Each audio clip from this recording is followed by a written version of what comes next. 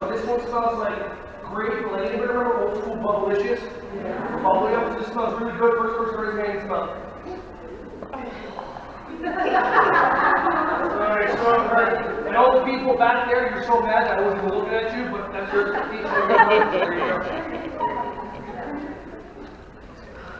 Right?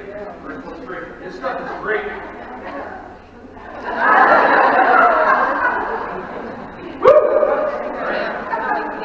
Oh, so I get these in. There's cherry, lime, lemon. I get these from Center Enterprises for about five bucks a piece. You buy your regular stamp pad things anywhere, but these are awesome. Again, if you don't have time, you just want to do something quick. These yoga cards, like if it's a day where just like I want the kids to come up with stuff, these are awesome. These are different. Yeah, get these Becker's. These are different yoga cards that all they do is they have different poses. So this, this one's good, hot chocolate.